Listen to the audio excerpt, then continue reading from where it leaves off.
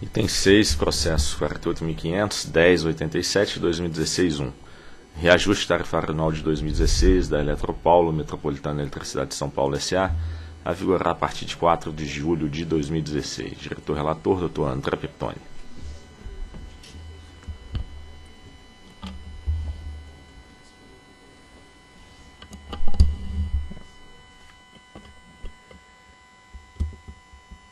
Bom, a Eletropaulo é concessionária de serviço público de distribuição de energia elétrica e atende 6,9 milhões de unidades consumidoras. É a melhor concessionária, a maior concessionária que tem atuação no país.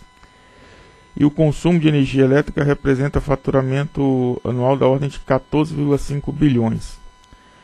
No processo tarifário de 2015, as tarifas da Eletropaulo foram em média reajustadas em 15,23%, sendo este o efeito tarifário médio percebido pelos usuários da distribuidora.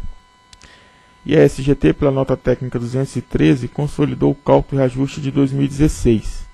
Em 23 de junho de 2016, a SGT encaminhou via correspondência eletrônica ao Conselho de Consumidores Eletropaulo as planilhas finais do, de cálculo da revisão tarifária, do reajuste tarifário anual de 2016, conforme dispõe a Resolução 652.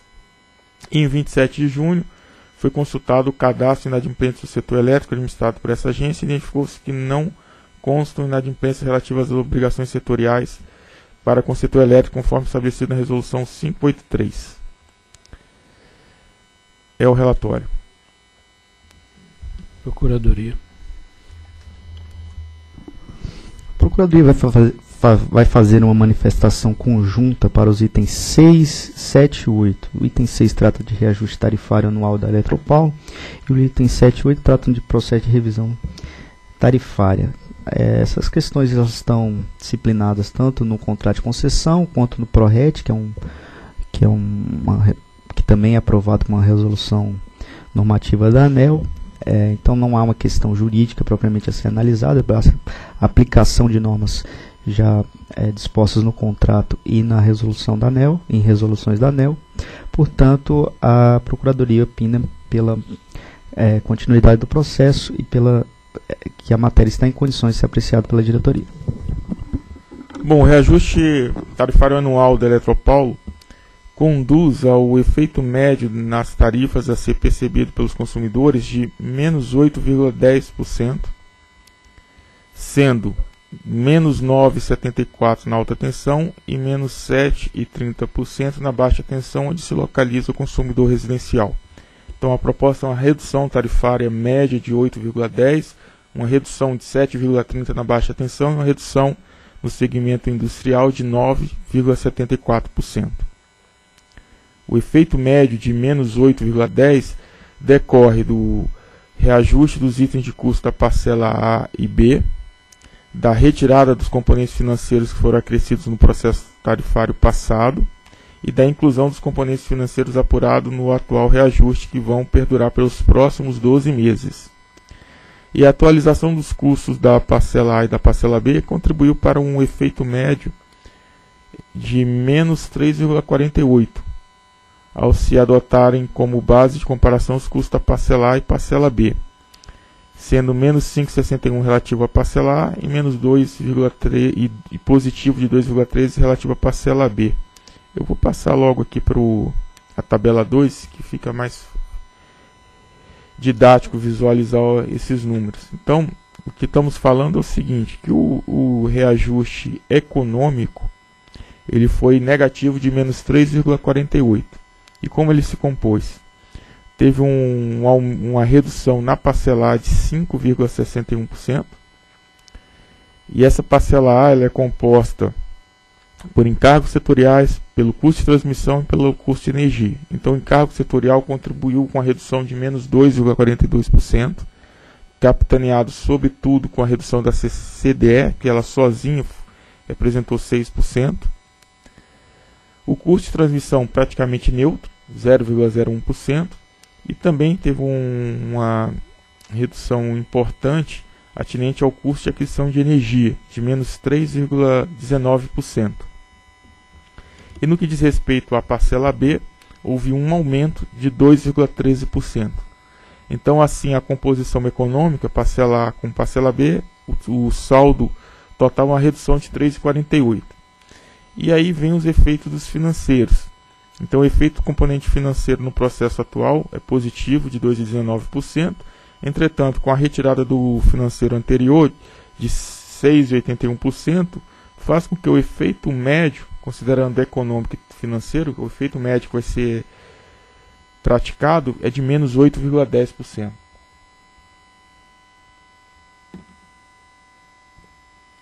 Agora vamos discretizar aqui a parcela A.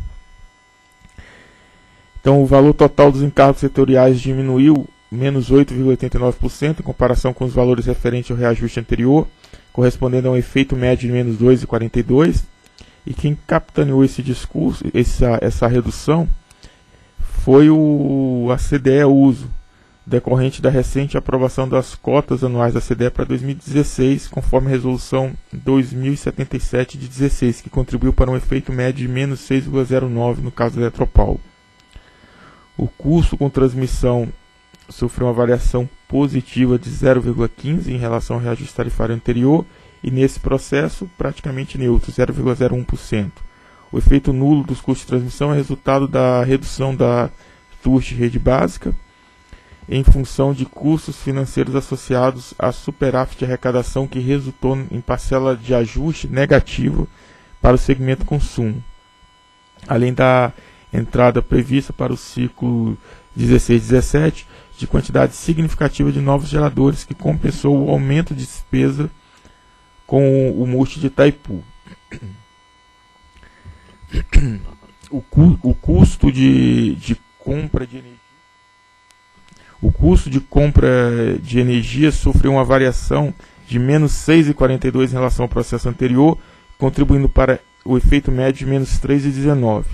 E contribuíram para o efeito negativo no custo de aquisição de energia a nova tarifa de repasse de potência de Itaipu binacional para 2016, que foi publicada pela resolução 2001 a qual sofreu redução de 32,3% em relação à tarifa que foi praticada lá em 2015.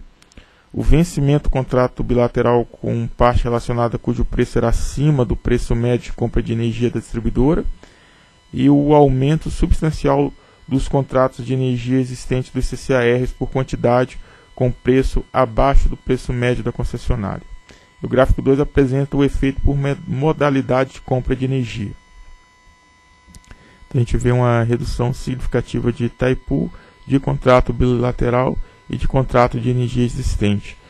E a capitaneando o aumento, porém num patamar bem inferior de redução, a energia nova e alternativa. CCAR por disponibilidade. E a tabela 3 demonstra então a variação dos montantes de a variação dos montantes e do custo de compra de energia. Então, o mercado da Eletropaulo em megawatts hora praticamente igual do processo passado para esse, um aumento de 0,2% de montante de energia somente. E no que diz respeito ao preço, o valor do mix está reduzindo. Está saindo de um patamar de 174,95 para um patamar de 163,39, que representa uma redução de menos 6,66%. Aqui a gente observa a energia do Proinfa sendo valorada a R$ 400,56. Itaipu, que reduz de 257,61 para 197,05, é o que mais contribuiu para a redução do valor médio do mix. Temos aqui a, a energia oriunda das cotas, valorada a R$ 54,58. A energia nuclear de Angra, que era 162, passa para 206 e a energia dos empreendimentos estruturantes, aqui está Rio Madeira e Rio Xingu, de 116 para 123 o valor do, do kilowatt. E sobre a parcela B, o custo da parcela B representa 21,27% do custo da concessionária. Seu incremento correspondeu a 2,13% do total do efeito médio. E para a atualização da parcela B, considerou-se então a variação acumulada entre junho de 15, julho de 15 e junho de 16 do GPM, que foi de 11,42%, descontado o fator X de 0,16. A resolução homologatória 1920 estabeleceu para o atual ciclo tarifário os valores do componente PD e T do fator X e o componente Q que vai ser calculado nesse momento. Então, são considerados indicadores dos serviços técnicos e comerciais prestados por cada distribuidora conforme metodologia do ProRed. E no caso do, da Eletropaulo, foram considerados apenas os pesos dos indicadores de DEC e FEC, de modo que o valor do componente Q do fator X a ser aplicado na atualização da parcela B é de 1,08%. Então, dessa maneira, para atualizar a parcela B, adotou-se a variação acumulada do GPM de 11,42 subtraída do fator X de menos 0,16, resultando no fator de atualização da parcela B de 11,58%. Os gráficos seguintes mostram a composição da receita e eu chamo a atenção para o gráfico 4, que é a composição da receita com tributos. Então, a gente observa que a parcela de distribuição representa 15,8% da receita, custo de energia 33,7%, encargo setorial 21%, transmissão 3,6% e os tributos 25,9% sendo superior ao valor do custo da distribuição, no caso da Eletropaulo.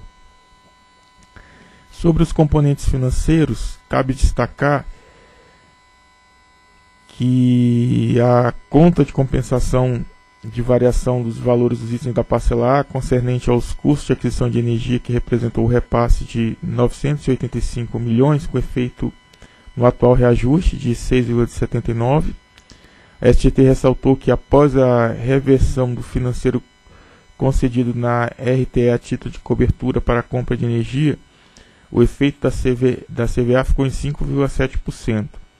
E os principais componentes que impactaram o saldo da CVA Energia foram os contratos da cota de Itaipu e os contratos da cota de garantia física. O custo de Itaipu justifica-se pela alta do dólar ocorrida no período da análise. Já o custo dos contratos de cotas de garantia física tiveram valores majorados devido ao leilão de contratação de concessões de usinas hidrelétricas em regime de alocação de cotas de garantia física e potência, onde foi incorporada nova parcela de custos relacionada ao retorno da bonificação pela outorga. A superintendência destacou ainda que a receita proveniente da aplicação dos adicionais da bandeira tarifária amarela e vermelha e dos repasses da conta bandeira que fora deduzida dos totais apurados da CVA Energia e da CVA Encargo, contribuiu para que a tarifa elétrica Paulo não sofresse aumento adicional médio de 12,87%. Isso é o fato da bandeira já ir remunerando né, o custo da energia no mês a mês e não acumular o valor todo para ser aplicado agora no, no momento do reajuste. E no tocante do, aos efeitos das liminares concedi, que concediam isenção do pagamento de parcela controversa do encargo da CDE, conforme deliberado por essa diretoria na, na reunião de 14 de junho de 2016, salientas que foi reformulada a decisão de repassar a perda de arrecadação correspondente aos demais consumidores de energia sem proteção judicial, passando a refletir na execução orçamentária do fundo setorial e, consequentemente, nos reembolsos efetuados aos beneficiários cujos gastos estão sendo contestados na Justiça. Com isso, os cálculos dos reajustes das revisões tarifárias das distribuidoras também não mais serão afetados pelos efeitos das liminares. Para a operacionalização dessa decisão, conforme consta do despacho 1576, as distribuidoras foram autorizadas a modular as cotas mensais da CDE a serem pagas à Eletrobras, descontando a perda de arrecadação dos encargos decorrentes das liminares. Também foram incluídos os componentes financeiros decorrentes do despacho 756 de 2016, referente à análise do pedido de reconsideração da concessionária contra a resolução homologatória 1920 de 1.907.000 mil reais, foi o processo que julgamos anteriormente. E a tabela 4 apresenta a consolidação dos valores dos componentes financeiros, então que totaliza 317 milhões. A SGT destacou na nota técnica 213 que o efeito médio a ser percebido pelos consumidores da Eletropaulo, de menos 8,10, contribuiu para que a tarifa do residencial da concessionária evoluísse nos últimos nove anos abaixo dos indicadores inflacionários GPM e PCA. e o gráfico permite essa sensibilidade de ver a evolução da tarifa de 2007 a 2016. Então a gente observa que a tarifa do residencial após o reajuste vai cair de R$ 436,11 a tarifa do B1 residencial para R$ 404,42. E sobre a, a subvenção da, da CDE, temos que a Eletrobras então deve repassar a Eletropaulo o valor mensal em relação às competências de julho de 16 a junho de 17 de 10 milhões e 2 mil reais. E esse valor já inclui os ajustes do período passado. Bom, senhores diretores, com foco nessa análise, considerando que consta no processo 48500 1087 2016 01, voto pela emissão de resolução homologatória, minuta anexa, a fim de homologar o índice de reajuste tarifário anual da Eletropaulo, a vigorar a partir de 4 de julho de 2016, que conduz ao efeito médio a ser percebido pelos consumidores de menos 8,10%, sendo menos 9,74% em média para os consumidores conectados em alta tensão e menos 7,30% para os consumidores em baixa tensão. Fixar a TUSD e a tarifa de energia e estabelecer o valor da receita anual referente às instalações de transmissão classificadas como DITs, aprovar o, a previsão para encargo de sistema e energia de reserva e homologar em R$ 10.083,53 o valor mensal de recursos da conta CDS repassado pela Eletrobras e Eletropaulo de modo a custear os descontos retirados da estrutura tarifária. É o voto.